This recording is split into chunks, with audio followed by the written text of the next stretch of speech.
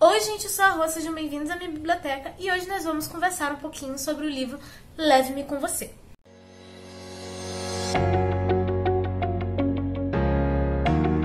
Leve-me com Você foi escrito pela Catherine Ryan e foi publicado aqui no Brasil em 2018 pela Dark Side Books. Eu comprei esse livro tem um tempinho e, coincidentemente, ele foi a leitura escolhida para o projeto do DLX, que é um projeto de leitura coletiva organizado pelos canais de Livro em Livro, Louca dos Livros e Xícara Quente. E como eu já tinha esse livro, achei que seria super legal estar tá lendo com outras pessoas, tendo com quem discutir. E ele acabou furando a fila de leituras aqui em casa. Mas antes da gente conversar sobre esse livro, por favor, não esqueçam de deixar um like no vídeo se você gosta desse tipo de conteúdo, nem de se inscrever no canal se você ainda não for inscrito. E também, gente, à medida que eu for conversando com vocês sobre esse livro, comentem se vocês já leram, se vocês têm interesse em ler. Eu vou adorar ficar conversando com vocês nos comentários. Também não esqueçam de ativar o sininho de notificações para você ser sempre avisado de quando tem vídeo novo por aqui. E o link de compra para este livro vai estar aqui embaixo no box de descrição, caso você se interesse. E comprando por esse link você ajuda muito o canal e você não está pagando nada mais por isso. Aqui nós temos o August, ele é um professor de ciência que está fazendo uma viagem pelas reservas naturais norte-americanas que era um dos lugares favoritos do filho dele, né? E ele tá nessa viagem sozinho, porque ele pretende deixar as cinzas do filho nessa viagem. Só que durante o caminho o trailer acaba apresentando um defeito, ele para na oficina. Nesse meio tempo ele acaba se envolvendo em uma situação onde ele tem que escolher se tornar responsável por duas crianças, que são o Henry e o Seth.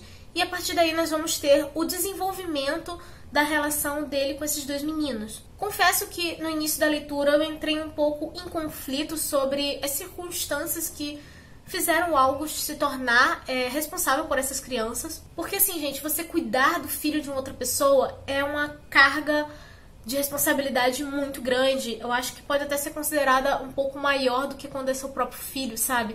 Porque se acontecer alguma coisa, você tem que dar satisfação para outra pessoa. Mas em pouco tempo eu deixei esse tipo de pensamento de lado devido à forma que a autora escreve a história. Ela aborda temas como luto, culpa, amadurecimento, alcoolismo de uma forma tão delicada que com certeza vai te tocar, mas sem trazer aquela carga pesada, sabe? Que a maioria dos livros que abordam esses temas trazem. Eu adorei os personagens desse livro porque eles são completos estranhos construindo uma amizade no momento em que todos eles estavam fragilizados e precisando de um apoio. O fato do August estar nessa viagem devido à morte do filho, sabe? Com todo esse objetivo de querer deixar as cinzas do filho, me tocou muito porque, assim, a morte é inevitável para todo mundo, é a única certeza que a gente tem na vida. Só que quando um pai enterra um filho, parece que a ordem cronológica da vida tá errada. Nenhum pai ou mãe deveria passar pela experiência de perder um filho. Porque assim, quando um filho enterra um pai, é a ordem normal da vida, sabe? Vai acontecer.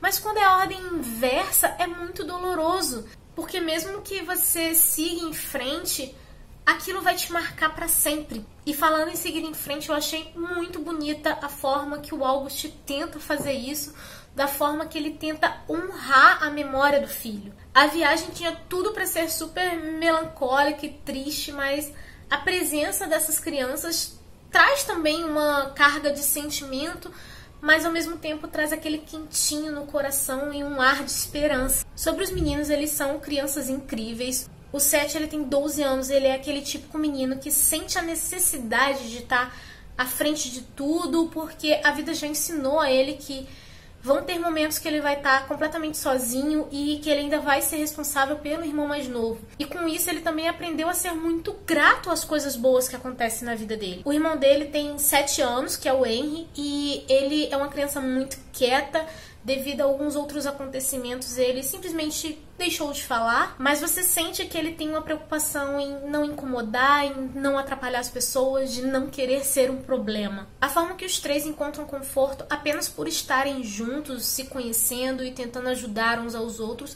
é realmente muito emocionante. Eu não cheguei a chorar lendo esse livro, que nem a maioria das pessoas falam que chora e tal, mas eu me senti emocionada durante o livro inteiro, sempre com aquele apertozinho no coração. e tem umas coisas que as crianças falam que é carregado de inocência, sinceridade e realidade que foram quase como uma facada no meu coração.